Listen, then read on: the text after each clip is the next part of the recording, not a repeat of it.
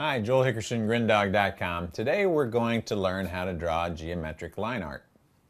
First we'll start with some simple shapes. Um, so yeah, well let's start with a triangle for instance. We would draw the simple shape of the triangle first and maybe uh, give a little perspective into almost a pyramid. Or maybe we would draw a square, simple shape of the square. And again, pick a one point perspective bring it back to that this point that we have, bring all the lines to the point, uh, and then cut it off. And that would give us our square. Diamond, same thing. Maybe a line down the center, line through the middle, line to the center point here. That line match the other with the other line, and you have a diamond. Uh, and that gives you some very simple shapes. Now, the thing about geometric line art is usually it creates a pattern of some kind. So you use these elements into uh, and create a pattern that's uh, sort of dynamic. Uh, and we'll start with a square. Maybe pick the middle point in each part of the square.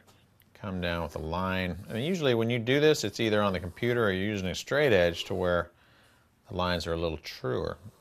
But for the for what we're doing, this should work. Again, with the diamond, we'll come straight down, straight across. Pick the center point in each one of these lines, come to it, to it, and then on down, down. And then you might want to come in on the edge. I'll erase some of these lines. Uh, the very edge point, maybe come to the middle and do another like half diamond over here, maybe with a few more spires.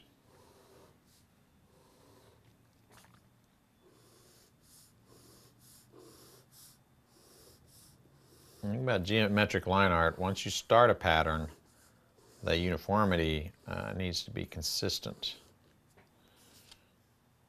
at least in this type.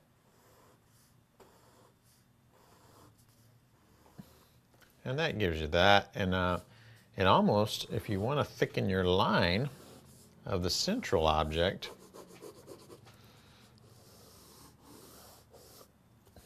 it'll push it forward. Can even do the same thing with the middle here.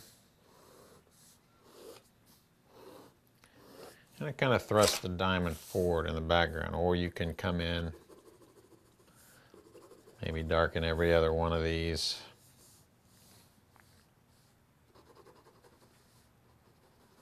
It kind of generally has the same effect. Uh, but that gives you a pretty good idea on how to get started. And you can come back around the outside again and create a pattern Oops, that disappears into the background. Uh, possibilities are pretty much endless.